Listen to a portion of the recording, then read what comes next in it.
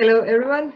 My name is Milica Stankovic-Brandl, and I would like to show you today some recent findings we had on the influence of the opening size on the air velocity through the capsule in the capsule-based dry powder inhalers. So to start,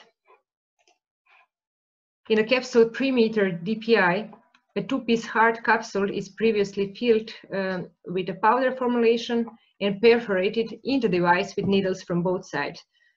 sides. Puncturing together with a patient air uh, actuation induces the release of the contained powder and brings it to the lungs.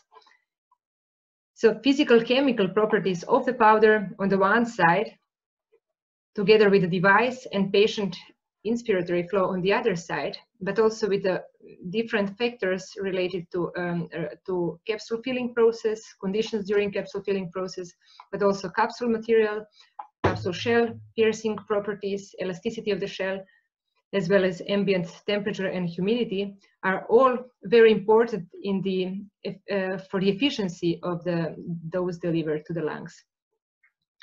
Still, the dose delivered from the DPIs, from the capsule-based DPIs, is uh, very low. Given that experimental observation of processes within small inhaler device, device is, uh, is very difficult, computational fluid dynamics um, and sim simulations are tools used for numerical analysis of dry powder inhalers to allow understanding of flow structures and resulting transport of drug particles. That brings us to the aim of this work, which was to compare the sizes of the openings or punctures of differently stored and lubricated gelatin capsules pierced using Plastiape inhaler, inhaler to compare further the size of the openings to the emission of the fine particle dose delivered through the given opening, and to understand the airflow circulation through the capsule's opening in relation to the size of the opening area, and to relate this to the delivery of the fine particle dose. So how this was done?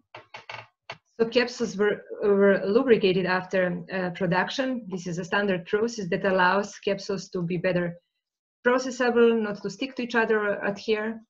So in this study, we used sodium lauryl sulfate, carnauba and magnesium stearate, and we used capsules without lubricants as a reference. So these were gelatin capsule size 3 inhalation types of capsules stored for seven days at two different humidities, 22 and 51%. So we assumed that this lubrication of capsules could have impact on mechanical properties of capsules and also on piercing properties of capsules.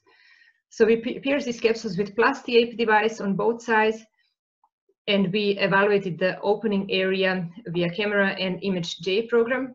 So we use the area of the needle as our 100% and compared to the actual um, openings of the, of the pierced capsules.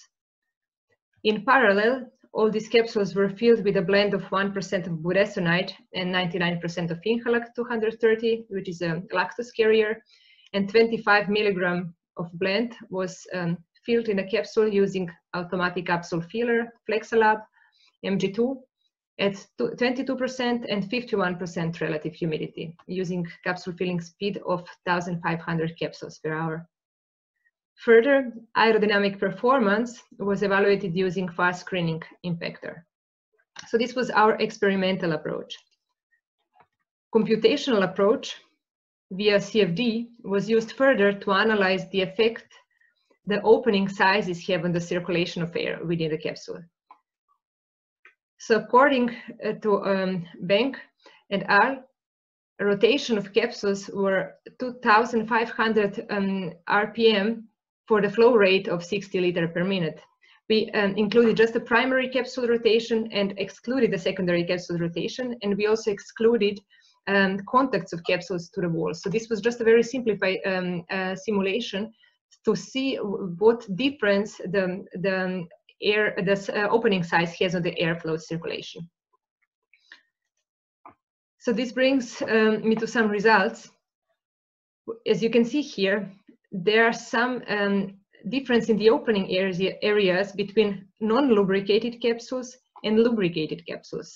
So non-lubricated capsules appear to have a larger opening area compared to lubricated. However, there were not a very large difference between um, lubricant, different lubricants.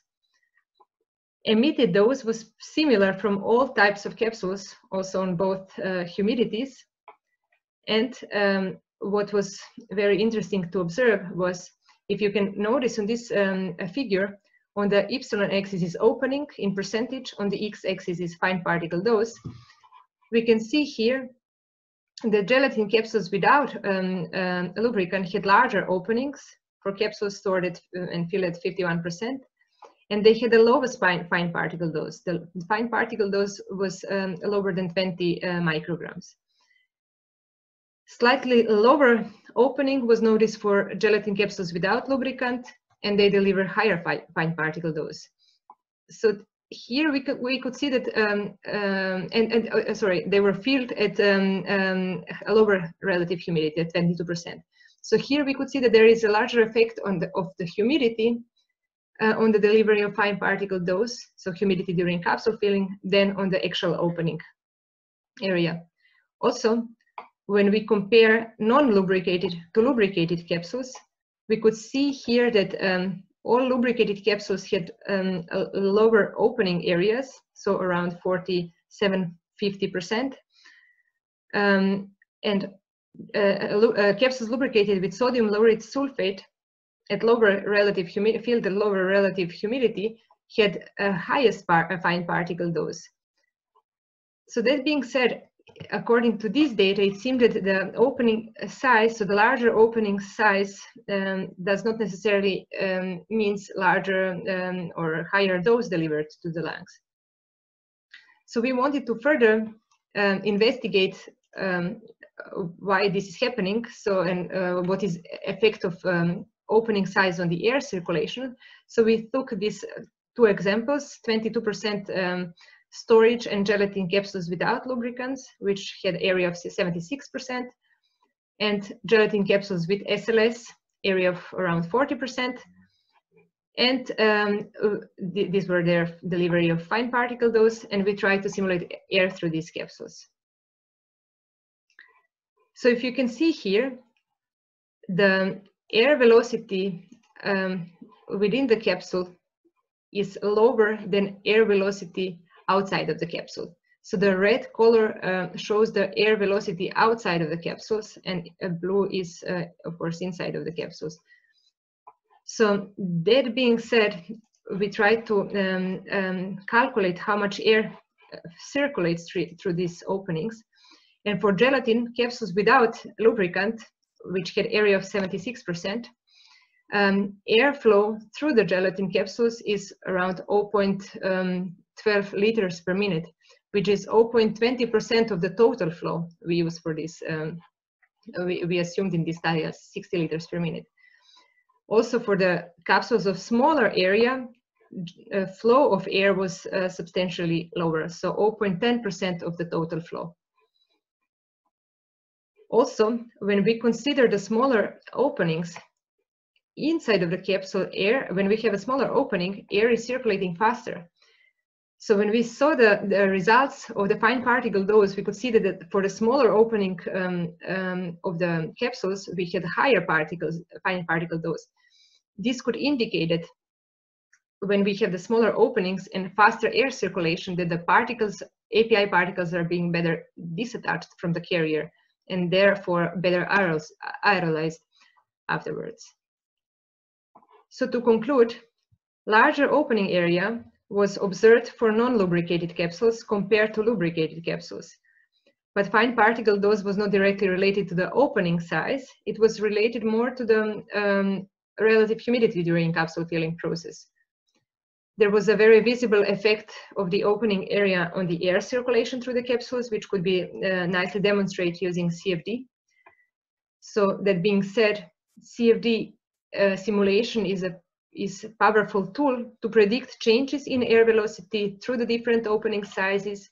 And this could also be used for a further study that we are attempting to, uh, to perform next, so numerical discrete element method simulation with inclusion of particles, where we can then correlate better the behavior of actual particles with the air velocity within uh, DPI.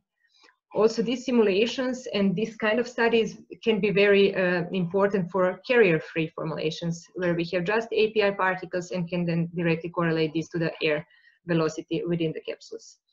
I would like to thank to my colleagues for um, assisting in this study and partners, of course. And thank you for listening. If you have any questions, please um, um, feel free to, to contact me using this email address.